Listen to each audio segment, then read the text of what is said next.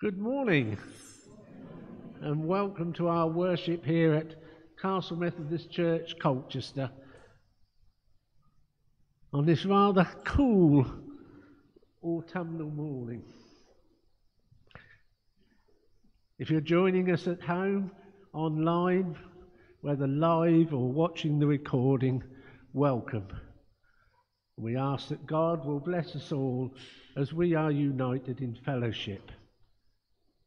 If you're here visiting us for the first time this morning, welcome, and we hope you will feel able to join us for refreshments and continuing fellowship in the hall at the close of the service.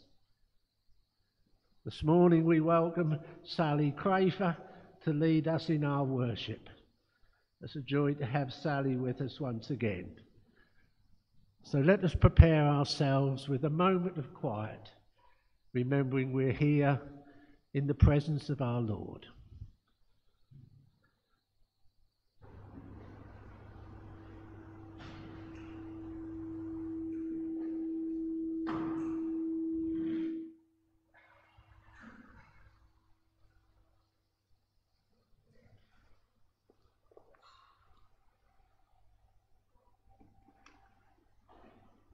And good morning, everyone. It's a, a delight to be here. Um, it's just wonderful to worship with you all. Uh, so, our call to worship comes from Psalm 8.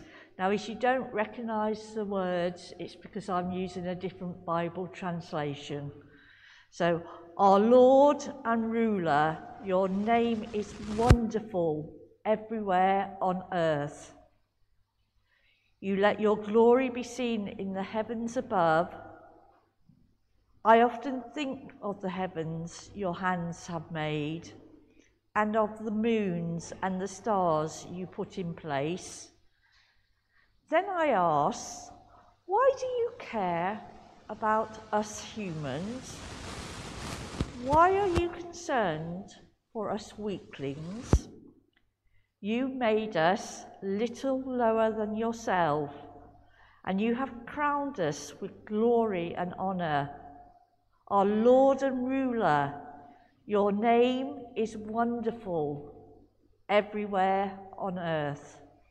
And we sing together our first hymn, which is God is love, let heaven adore him, which is singing the faith 103. And please stand if you're able to.